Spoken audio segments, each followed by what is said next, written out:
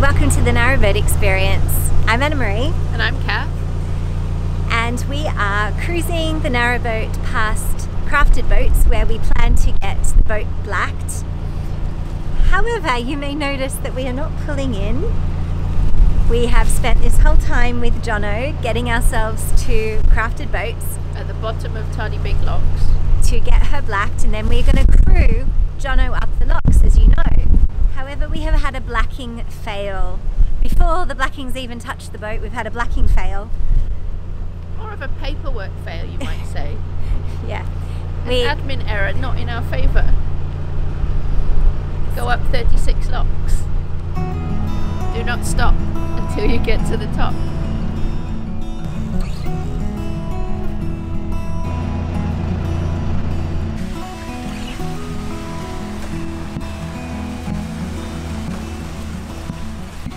Here we are at the bottom of Tardebigge Lock.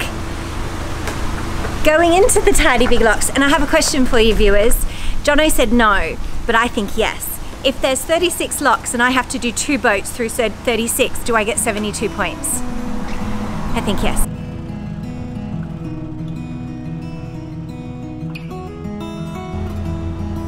Oh, so I was gonna set the timer so we have to go to the top of Tardebigge Locks because somebody didn't read the paperwork properly when they were filling it out. Neither of us read the paperwork. I'm not in charge of paperwork. We we picked this boatyard because of its location, ironically. We were we were choosing between this boatyard and another one which was not up the Tardebigge flight. However, it's turned out to be an awesome opportunity to do the biggest locks in the country. Biggest flight of locks. To do it with Jono, who is lovely. And also we have a volunteer with us for the first six locks. So that's awesome, isn't it? Yeah. So it's actually turned out really good. And it will be a lovely experience. I love people who like being on camera. Not everybody gets onto a narrowboat and wants to be on YouTube, so we don't often film a lot of people because it's, it takes time to ask for permission sometimes, but it's really nice when people wave and say, why aren't I on camera?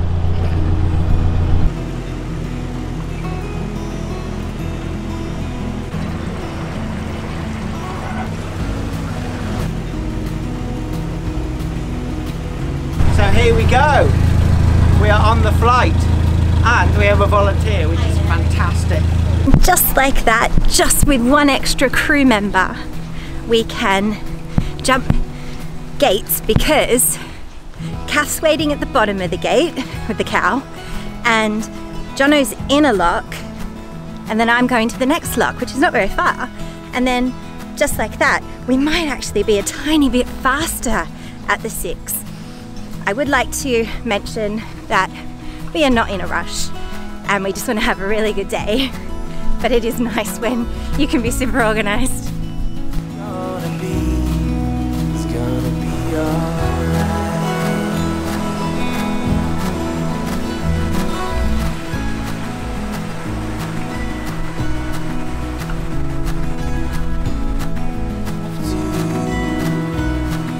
trust into us and we will help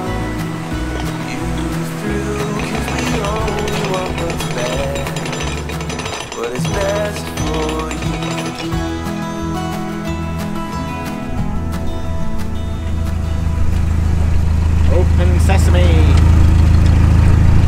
Now, in the lock with a volunteer.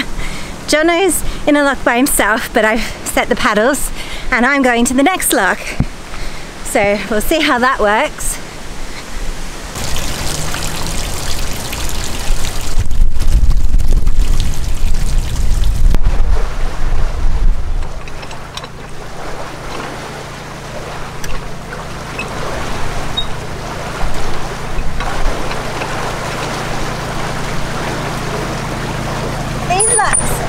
fun.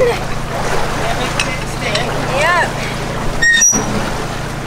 I'm just getting my batteries and then...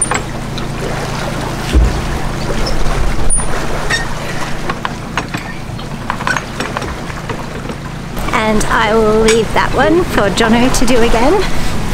and come and do the next one.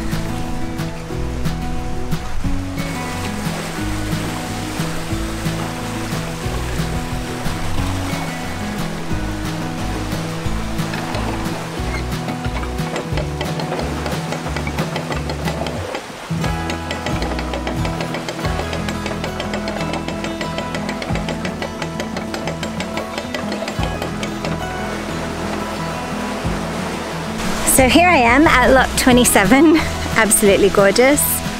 Um, and I'm just gonna check the time. We've done about three locks. Oh, okay. Three locks and we set the timer 33 minutes ago. So actually, with a little bit of help from a volunteer and some awesome crew, we are making very reasonable time. So 33, that's 10, 11 minutes per lock. We're not going to be able to keep that pace. Yeah, we're nearly there. We've only got 30 more to do. Kath all right? She's still got a volunteer? Yeah.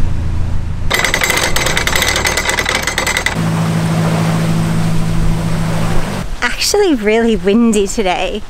As you know, we don't like to travel in the wind and it's going to get up to 18 at midday. It's midday now. But I thought maybe lock to lock the wind wouldn't be so impactful because you're not really going past other boats. It's just the angle to get into the lock. So we'll see how that goes by the end of the day. We're still making excellent time. And I mean, come on. How pretty is that? So you can't really complain. You can't go, oh, it's a gorgeous day and the sun's out and the boats are gorgeous and the people and the company's lovely. But I've got 36 locks to do, so I'm sad. So kind of just got to get over it and think, I made a mistake with the paperwork. Let's never talk of it again.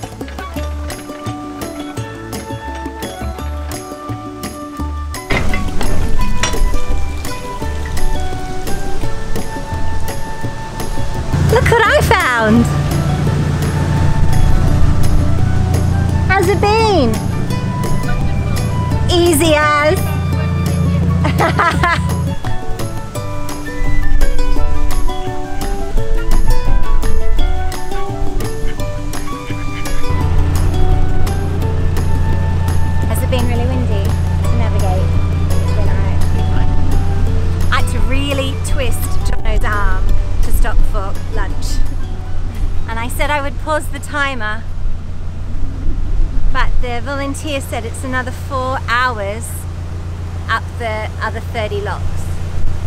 Yeah. and, the, and now I'm the only crew. I was saying to Jono, I need to stop for lunch. Oh, and you may have noticed I'm not in the first bit of the video because I was abandoned by my wife and left with a strange man. You left lovely, with lovely we both left, we both left with strange men. and we've just done the six locks well, we have only done six locks. and I, I did nothing for four of them.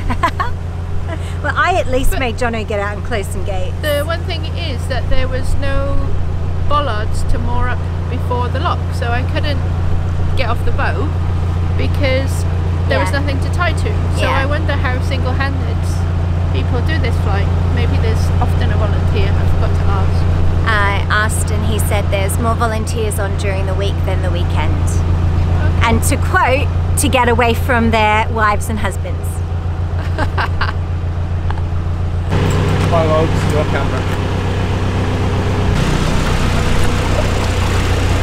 So we didn't quite take the lock from those two guys, but um, they did pull over to have some lunch.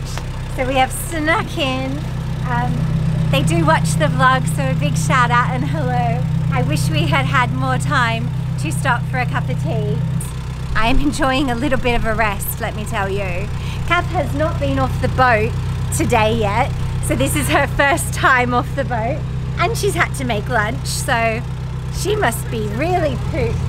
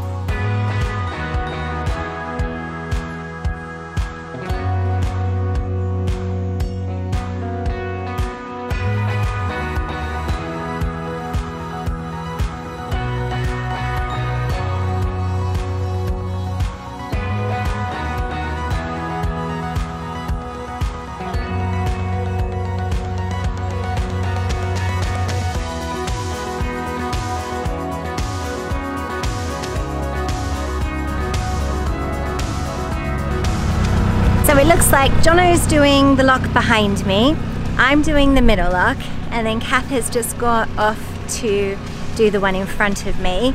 And in this way, I think we might keep leapfrogging. I was really lucky getting off the boat in this lock because there was a little stepway. So um, I had the boat in neutral, but it still had some forward propulsion. So I stepped off at the stairway and I've come up the top and then I've been able to do the lock by myself without using the lock ladder which is my nemesis.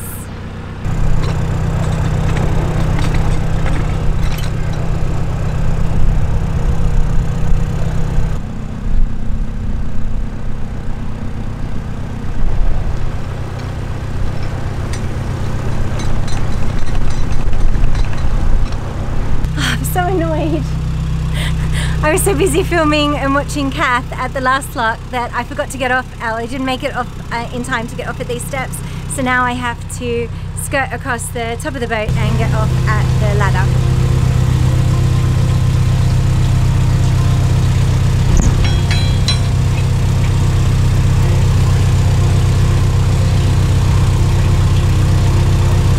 And that's how it's done, except probably a little bit more gracefully.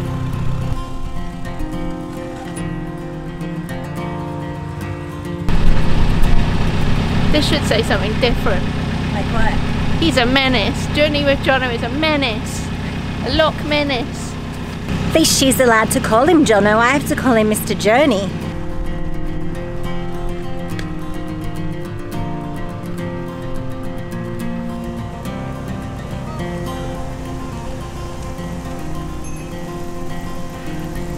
Need to tighten up the brakes. We have decided to break out the bike because you ha- the person doing the walking has to walk back two sets of locks. Jono reckons we shouldn't break out the bike, but I want it noted that he has not yet to walk one whole pound. He is getting on, on and off of his boat So am I. a lot as well. Yeah, it's all pretty evens, and we enjoy cycling, and I enjoy cycling more than I enjoy riding Jono, um, driving Jono's boat. or, um, in fact, right? either of those things.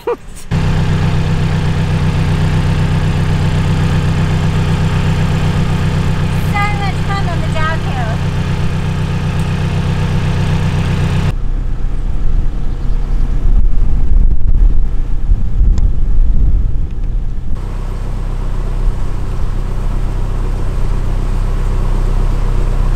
Anna Marie foolishly left me with the camera, so there's been no filming done for ages. I think we've gone through about 10 of the locks so far. For the first five, I was the person on the ground going between. Then we got the bike out, and Anna Marie's been running back and forth on the bike. And we think that now there's another set of boaters following behind us because somebody's been helping Jono extra to Anna Marie. We've met loads of lovely people, passers by, having a good old gongoozle, watching us go, giving us a hand with the odd gate, which is really nice. And we're having a good time. It's exhausting.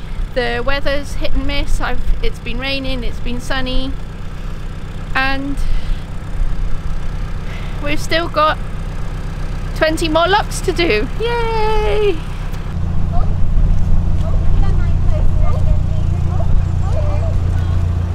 So Kath is driving Jono's boat. I am driving my boat. Jono's setting the lock up ahead. Kath has Molly. and it's just lovely. A lovely day. The cats have said that 36 locks in one day is too many. There's really no lock landings to speak of on the Tardebigge locks, so be aware of that single handers. Kind of have to back back into the lock to shut your gate.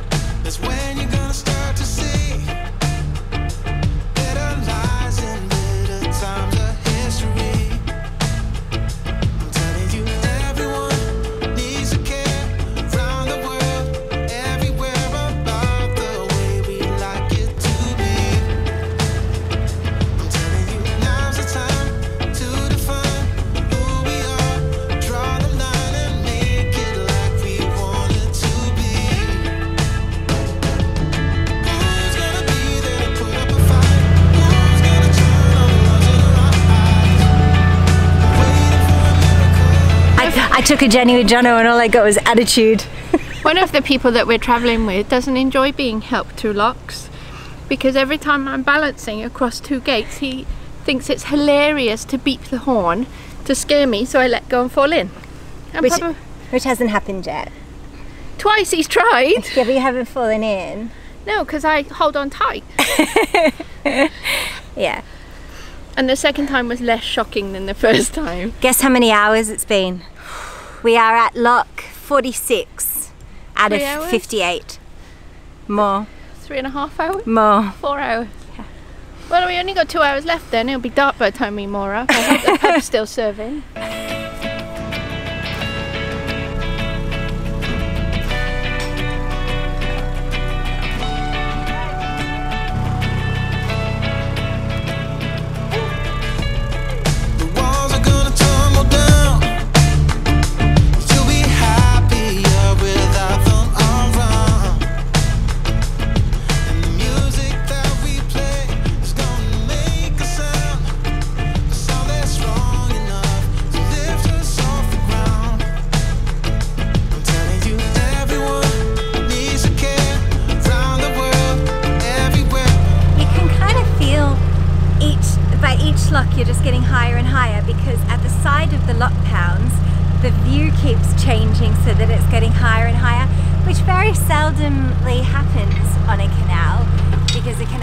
Usually quite flat, obviously.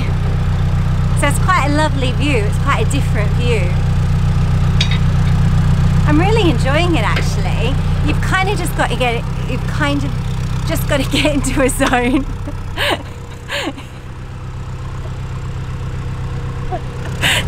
it helps when you have good company.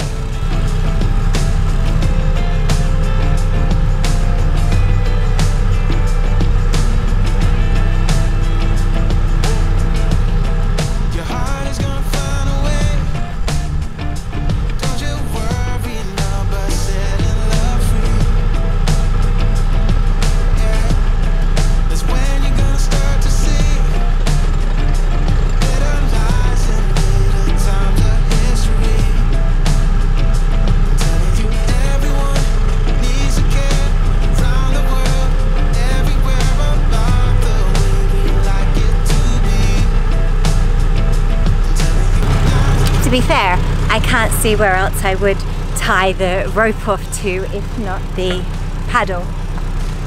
Crazy.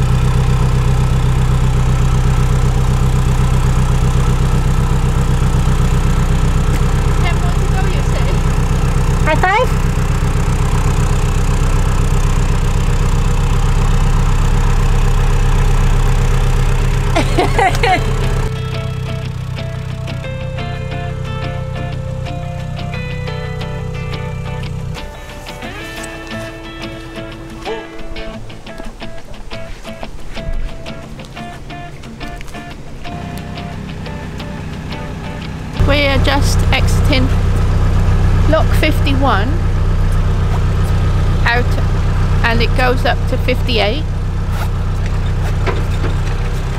I'm going to lobby for us to stop in the long pound between between 57 and 58.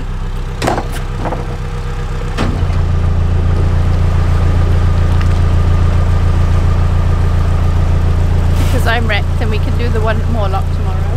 Anna Just emptying this lock behind me so that Jono can come in. And I'm waiting for her to open the gate ahead. So she's gonna open those paddles, hop on the bike, zoom past and open the gate. And then I'm gonna crawl in slowly.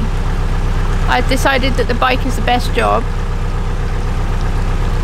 because you only really do the lowering of the paddles and the gate paddles and the gate paddles are easier than the ground paddles. So I'm quite tired. I don't know if you noticed. And I don't know if you can tell but it's getting quite dark. And I've now just driven into a hedge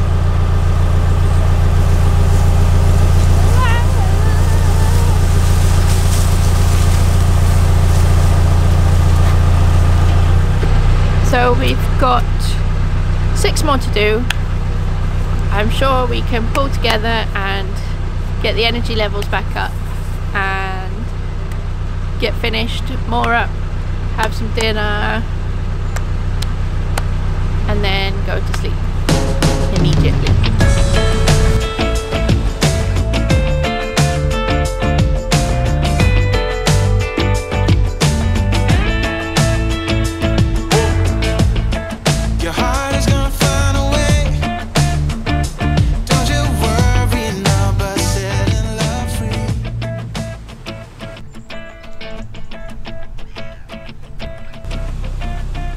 56. No, not 55.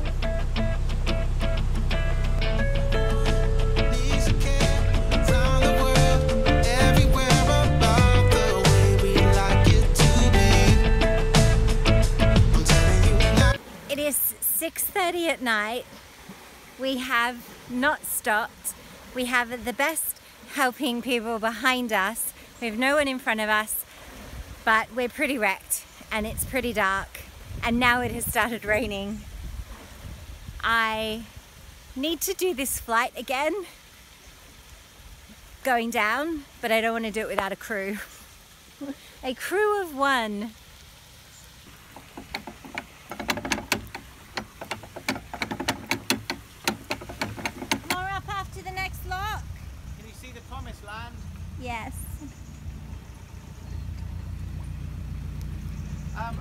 получать